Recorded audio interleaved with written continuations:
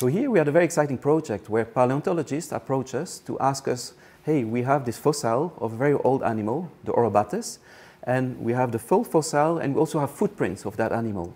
And the big question was to see what was the most likely gait, way of moving of that very old animal. And there it was very interesting for us to make a robot and a complete simulation of the, the morphology and very systematically explore all possible gaits, all possible ways of moving in these footprints.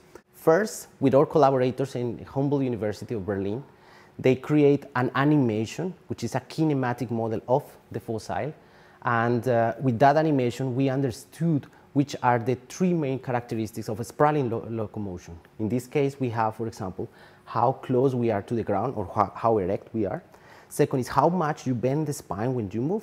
And the third one is how much you use this joint or how much you use this joint. To validate the kinematic model, we use modern species, a skink, a salamander, an iguana, and a caiman. And what we did was take x-rays of these animals where they were walking, and with this we create a set of data that allow us to basically validate that this space makes sense. Then the second part, which the dynamics part, which is the things that we do with robotics, and is creating a robot and out of this robot, we create a simulation in order to test all this physics. So basically, we recreate a certain kind amount of uh, gaits in that space. And with those gaits, we tested which these gaits behave under four metrics.